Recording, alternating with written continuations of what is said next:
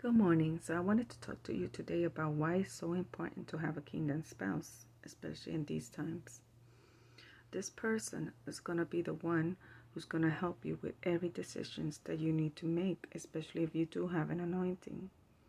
I don't know, the anointing could be for ministry or for teaching or laying hands on people and healing and um, singing. Not too sure, you know, different gifts but you need to be with that person because a lot of people are going to come and they are going to be telling you what to do you know especially higher uppers and that's what i heard you know. There's a lot of out of the all of a sudden out of the woodwork these pastors preachers they're all going to come out.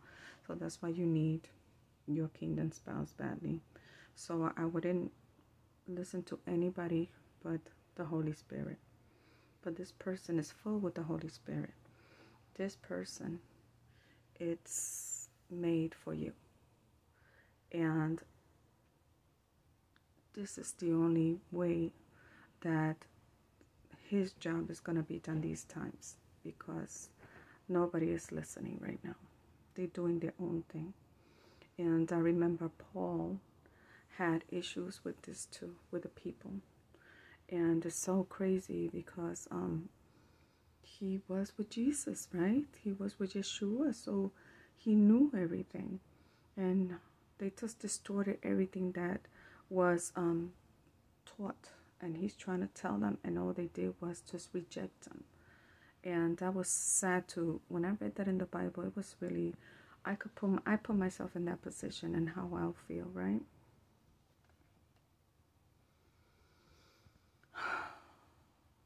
When you have the favor of God, you don't you don't need to do all these things because it's already been set in place. It's like I feel like we are in a big um, theater right now, you know, and the players are in place, and everything is gone according to scripture, and um, you're not gonna be blessed more or, eh, or less if you fast. No. The fasting is what I seen as kings had asked for the fast. Kings need to ask for this fast. They need to ask for this fast. Usually that's what's in the Bible. Mostly they were kings that would if you want to do a personal fast it's fine but um, it has to be led by the Holy Spirit. And um, don't feel bad if you cannot do it. Don't feel bad. I was told to enter into his rest. And then all of a sudden I see this fast here, that fast there. And I'm thinking, what's going on, you know, because um, I didn't hear anything about fast unless it's um, the, the Esther fast that's coming up. So I don't understand all of this. But you're not going to be blessed more or less. If you, whatever is for you, you're going to get it. Whether you fast or you don't fast. Whether you're wicked or whether you're good. This is what happens. So um, you're not going to be blessed more or less because you fast. No, that's not true. You know, if you do things out of your heart, that's a different story.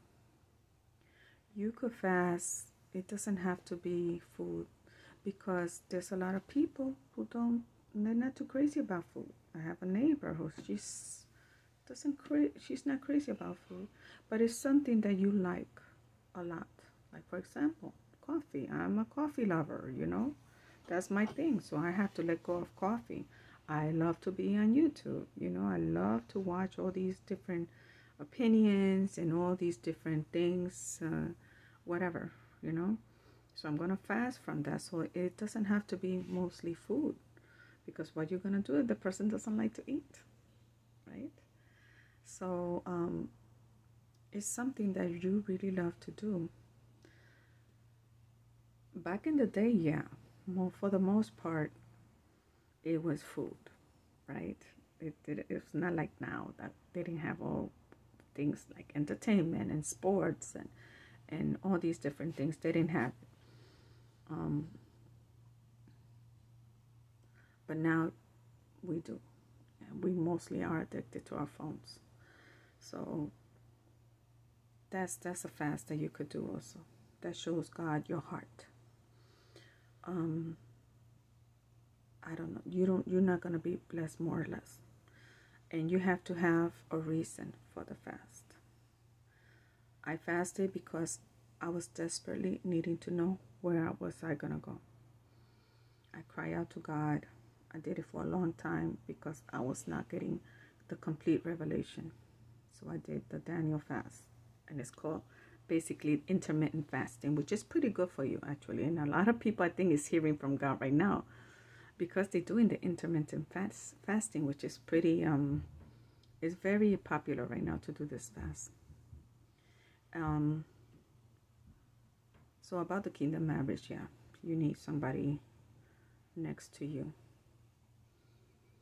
that you know you could pray about things because there's going to be a whole bunch of voices coming around you and um, they might mean well i don't know but they are going to try to tell you what to do or what not to do and god doesn't want that he wants you to be with somebody that the, your the voice that you hear they're going to hear it too so it's not like you're going to hear one voice, he's going to hear another. No, you both are going to hear the same voice.